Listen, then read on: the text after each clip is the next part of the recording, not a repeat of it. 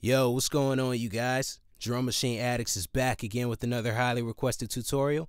And today we are going to show you a really cool sampling trick called alt looping.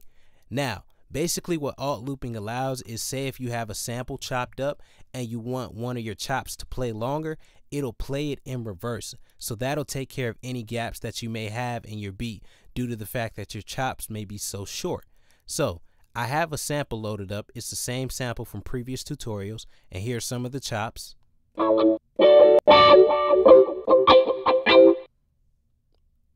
Alright, and as you can hear, those are really short chops. So I'm going to use alt looping to make them longer so that if I need to make a pattern with fewer chops, then it'll play in reverse and take care of any gaps that might be in the beat. Alright, this is how you do that.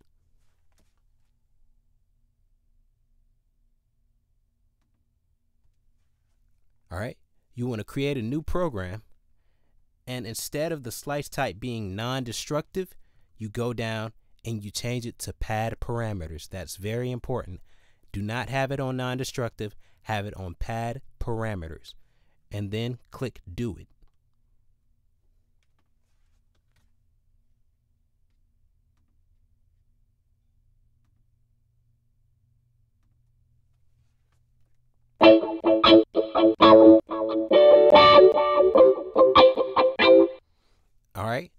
Now you have your new program. What you have to do is you have to go over to program edit and you have to change some of the pad parameters.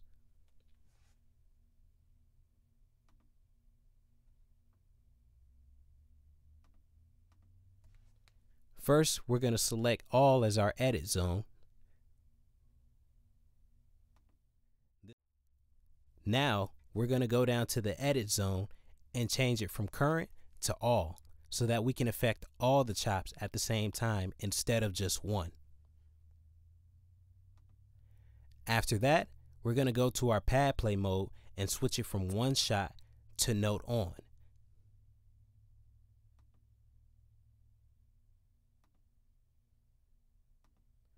Then the final step of this equation is we're going to switch our playing mode in this section where it says pad loop from forward to alt. Now just to show you the difference, I've switched it to forward so that you can see. That's how the note sounds by itself. But if we switch it to alt,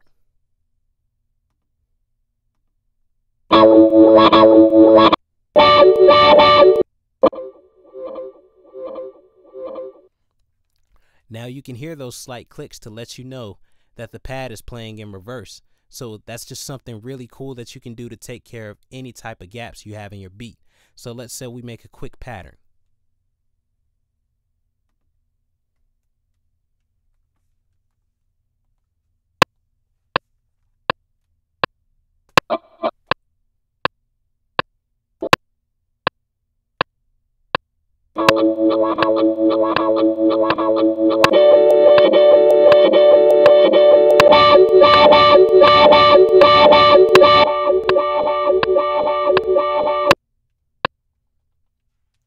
Again, just a really quick pattern, not meant to be that fancy or that great, but it shows you that those samples are playing longer than they have before because you have alt looping on, which allows it to just loop and it loops in reverse. So it can create a smooth transition.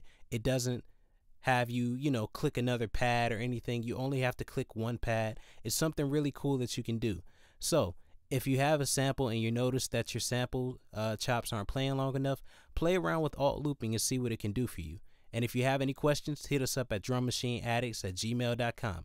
Once again, don't forget to subscribe, tell a friend to tell a friend, and we will see you next week. Peace.